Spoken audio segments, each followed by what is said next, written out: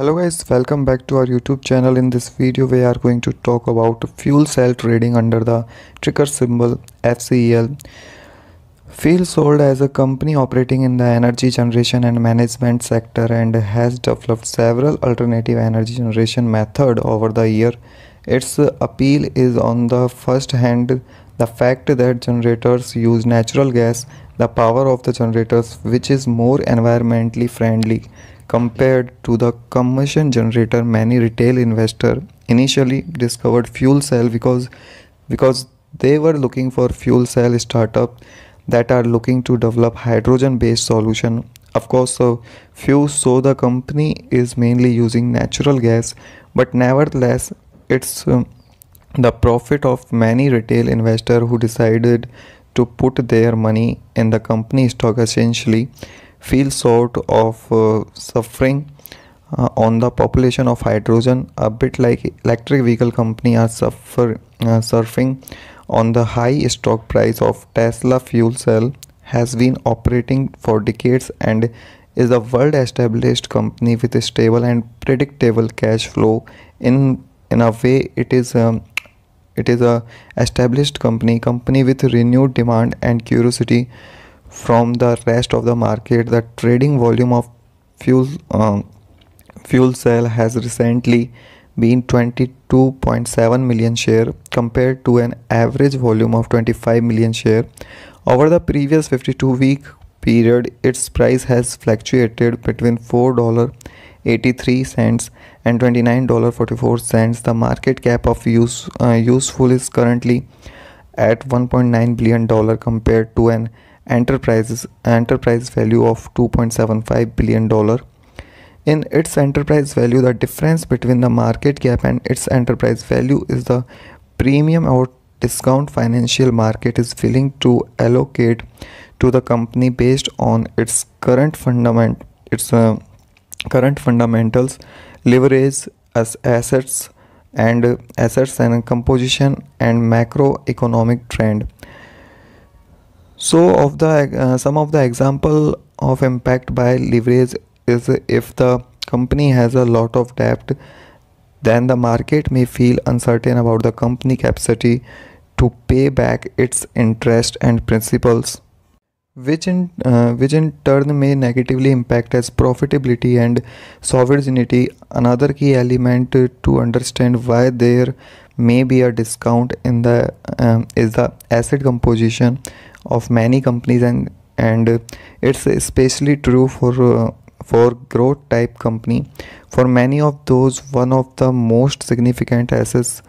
uh, they own is goodwill. Goodwill is basically an expectation of the market that uh, uh, that the company is able to generate more profit and have more growth than uh, other companies partially because it has a good management a stronger brand recognition bigger following online and so on. In other words it's not a tangible assets that company may use. However it's often uh, however it's often the reason why some companies are pre- uh, perceived to be trading at a discount because the market cap is lower than the enterprises so uh, enterprises value which is the value of market giving the assets uh, one of that uh, that are paid off without being said. In the case of you sell my feeding is that the company is subject uh, to a lot of speculative element. So this is why whenever things are not looking that good a lot of people would immediately sell a lot of people uh, would immediately sell their holding. This is also symptom of something that may happen when in when a company has most of its share among the retail shareholders. In comparison to its historical price fluctuation the stock is 10% higher than the uh, 1 month low 10% uh, higher than a 3 month low and 10% higher than 1 year low in terms of the option market which often gives a hint on the market sentiment on where the stock price is likely going to head towards.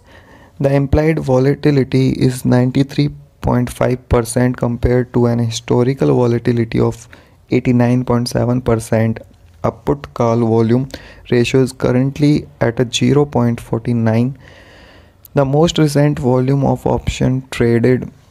has been 40,000 contracts a day compared to the 30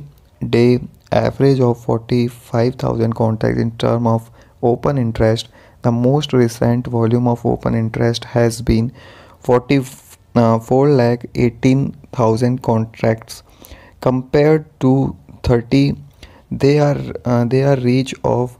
uh, 3 lakh 88000 contracts in term of its shareholders structure institutional shareholders hold 41% of its outstanding shares I would say that the previous peaks are a good play, good place to look. Your investment should also take into consideration the market condition and the surrounding sentiments to determine what kind of assets uh, should be picked up for how much and for how long. First of all, the financial market does not reflect the real economy. If the stock market is doing great, it does not necessarily mean that companies uh, are hiring hiring people that uh, salary and living standard are rising sometimes it is the exact opposite that happen because the stock market is a pool of money where uh, things come in and come out going to different sector to be placed the capital may be used to be invested in a company to improve its efficiency and productivity but it can also be used to buy up share and assets in order to make a profit. This phenomenon is called financialization and it's mean that the more money has been used for non-productive purpose like merging and acquisition feeds the financial sectors buying back equity and so on the left there is uh, there is for the real economy another another way to put it, it is that ever since 2008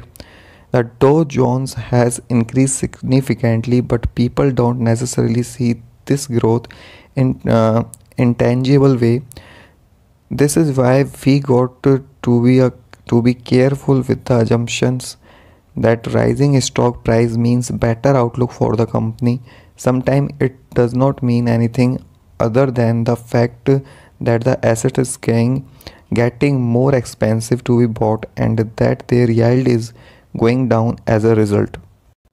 To come to the American capital market when things get heated back home, this is especially the case when uh, geopolitical tensions increase around the world in order to make sure that capital can provide a steady return without being affected too much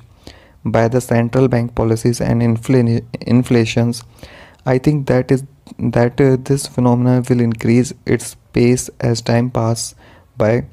at least for the next couple of years this is why we will likely to see the blue chips continuing their ascension even if the growth stock even if the growth stock things may be a lot more nuanced the bottom line and all this is that